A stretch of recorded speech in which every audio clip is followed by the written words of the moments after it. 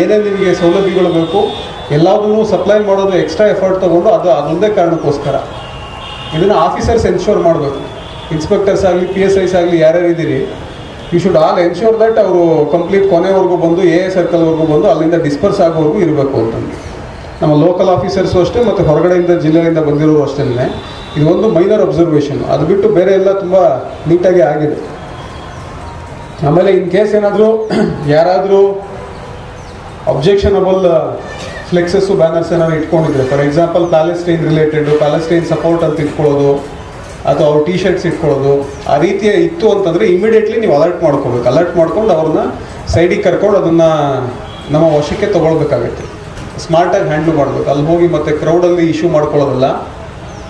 ಸೈಲೆಂಟಾಗಿ ಅದನ್ನು ತರಿಸ್ಕೊಂಡು ತೆಗೆಸ್ಬಿಟ್ಟು ಆನಂತರ ನಾವು ಕೇಸ್ ಅದು ಮರದಾದ್ರೂ ಆಗಿರಲಿ ಪ್ಲಾಸ್ಟಿಕ್ ಆದ್ರೂ ಆಗಿರಲಿ, ಅಥವಾ ಕಟೌಟ್ ಆದರೂ ಆಗಿರಲಿ ಅಥವಾ ರಿಯಲ್ ಆದ್ರೂ ಆಗಿರಲಿ ನಿಮ್ಮ ಕಂಡಿದ ತಕ್ಷಣನೇ ಅದನ್ನ ನಿಮ್ಮ ವಶಕ್ಕೆ ತಗೊಳ್ಬೇಕು. ಇದು ಬಹಳ ಬಹಳ ಮುಖ್ಯ. ಏನಕ್ಕೆ ಹೇಳ್ತಾ ಇದ್ದೀನಿ ಅಂದ್ರೆ ಇಷ್ಟೆಲ್ಲ ಬಿಗಿನ್ ಮಾಡಿದ್ಮೇಲೂ ಕೂಡ ಯಾರೋ ನಾಲ್ಕೈದು ಜನ ತರಲೆಗಳು ಇವನ್ನ ಮಾಡೋ ಸಾಧ್ಯತೆಗಳು ಇರ್ತವೆ. ಸಡನ್ ಆಗಿ ಇಲ್ಲ ಸರ್ ಅದು ಮರದ ಕತ್ತಿ ಸರ್ ಇನ್ನೊಂದು ಯಾವ್ದೋ ಕತ್ತಿ ಸರ್ ಅಂತಂದು.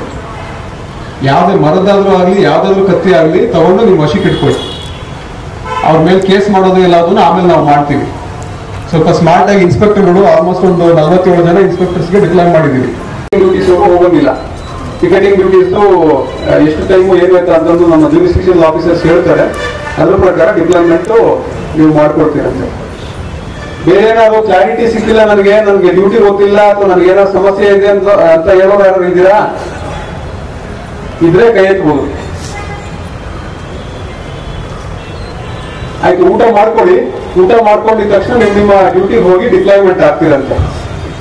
Okay thank you